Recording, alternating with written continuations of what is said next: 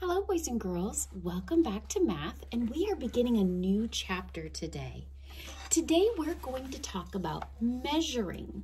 Have you ever heard of a ruler before? Rulers are used to measure, and maybe you could find one around your house. This ruler is 12 inches long. Now, when we start measuring, we always want to start at the end. So if we measure something, we have to start over here where it says zero. So for example, if I were going to measure, um, let's say this card. If I were going to measure this flash card, I would need to start by putting my card at the very end of the ruler. So then we can look and see that my card, my flashcard here, is about, if I start at zero, six inches long. So we would look, and so zero isn't written there, but we know that zero is where we begin, and then it goes to one, two, three, four, five, six. So the end of the flashcard is at six. So my flashcard is six what we call inches long. So I said a ruler is 12 inches long. If you look, again, there's no zero, but there's a one and a two. Count with me. Three, four, five, six, seven, eight, nine, 10, 11, 12. Now I know, can you see all the different lines in between? As you get older, you'll learn how to measure even smaller than the actual inch. So for example, if I look at this big line right here in the middle, halfway between one and two, that would be called a half an inch. So we could say one and a half inch or two and a half inches.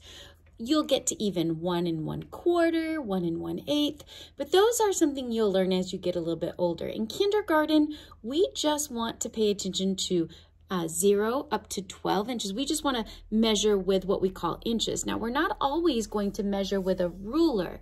Sometimes we will measure with cubes or other objects to see how long something is.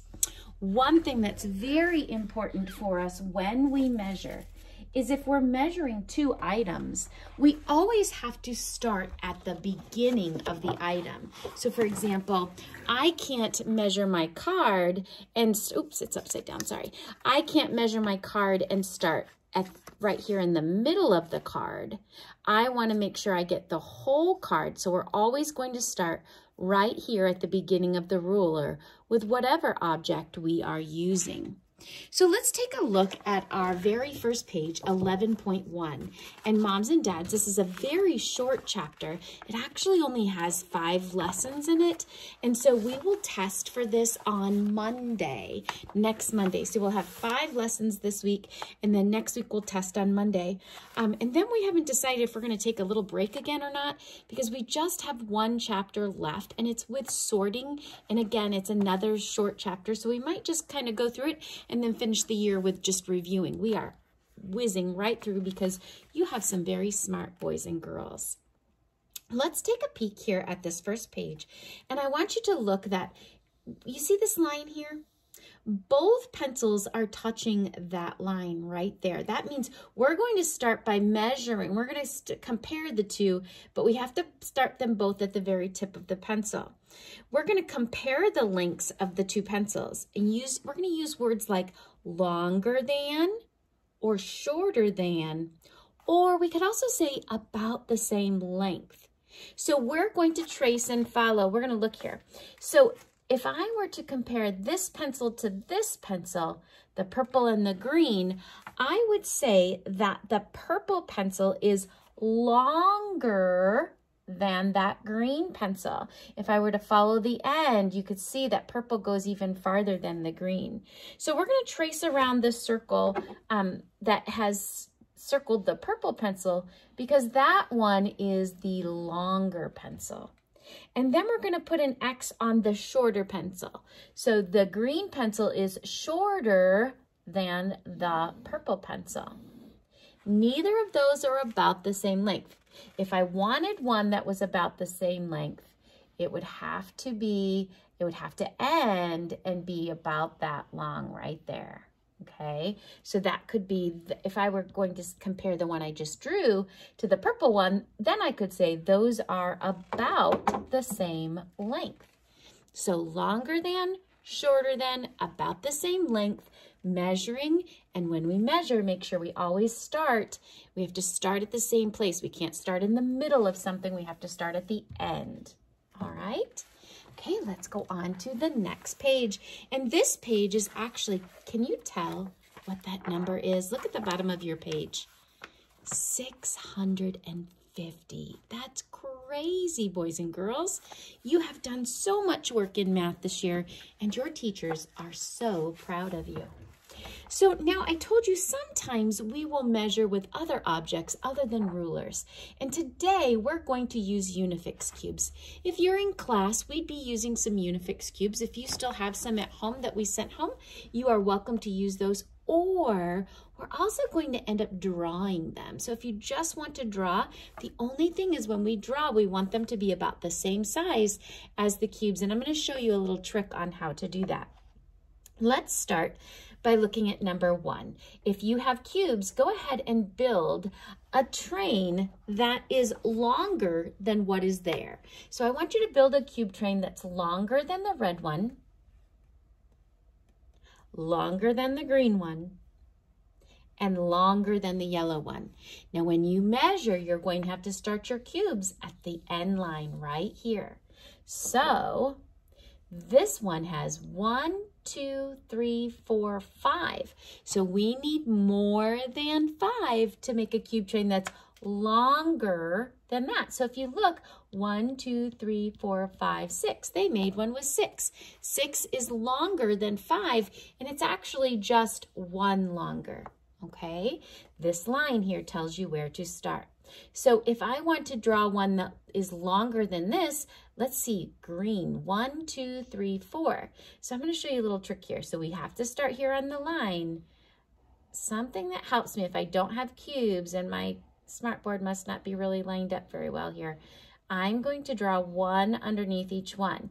Now, if I talked about or compared this, that would say that that cube train is about the same length as the green one, but I need one longer. So I'm going to add one more. You could actually add more if you wanted, but my cube train now has five cubes, and so that is one longer than the green cube train that's there.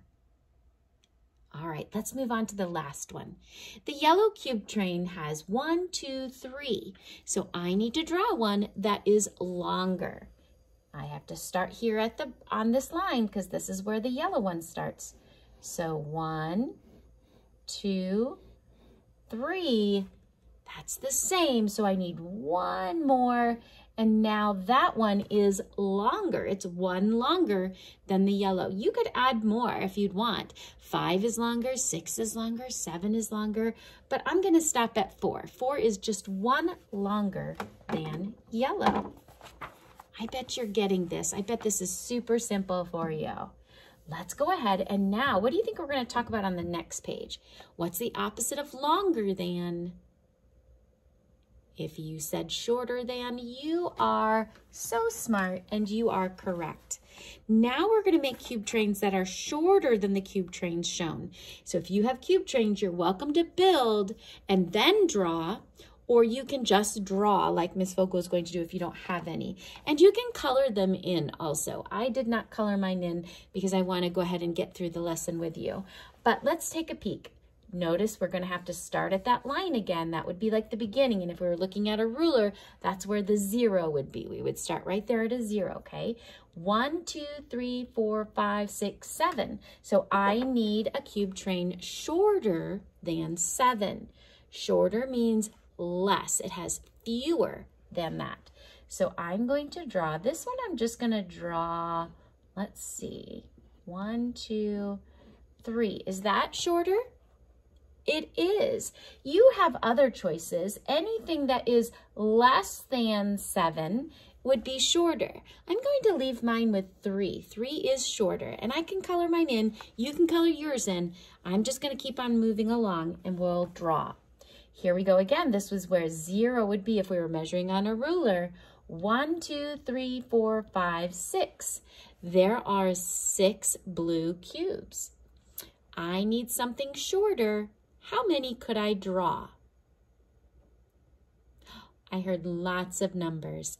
I think I'm going to do, whoever said five, I'm going to do five. One, two, three, four, five. Five is shorter than six. It's actually just one cube shorter than six. So I drew five. All right, let's go down to the very last one. Our red cube train has one, two, three, four, five. I need to draw a cube train shorter than five. How many could I draw? I'm going to draw, I heard someone say three. One, two, three. Let's do one more. Four, four. Four is smaller, or I'm sorry, shorter than five. It is one, just one shorter than five. You guys are picking this up so quickly. I'm so proud of you. Keep up the good work. Okay, let's move on to our very last page. Here, if you notice, we are going to compare three pencils, okay? The eraser is touching the end line on all three. Let's see. Two of these pencils are about the same length. I want you to color those two pencils that are about the same length. So if they all start here, which two end at about the same spot? If you say the top one and the bottom one, you are correct. I'm going to circle mine, but I would like you to color yours in. You are much better at coloring on your papers than I am. So the top and the bottom pencils are about the same length. Now, on number eight, we're going to draw to show what we know about two objects. They're about the same length. So I'm going to draw two, hmm, let's draw carrots ready? So I'm going to start, because the top of a carrot has some grass on it. So I'm going to start my carrot there and then draw it down this way. Not too bad. My grass or the top of the carrot is touching that line. Now my other carrot has to be about the same length. So I'll do the same thing. And now I want my carrot. I have to go down and stop right about the same spot the other carrot was. Do you see the end? So they start at the same spot and they end at the same spot. That means those two items are about the same length. You can draw whatever you would like and just draw two of the same length, about the same length items. Have a great day in math. Don't forget to do your homework if you have a ruler at home, maybe you could try finding out what's how long some things are in your home. Your ruler won't be able to measure really long things, um, but try to find some smaller things that you can measure. Have a great day.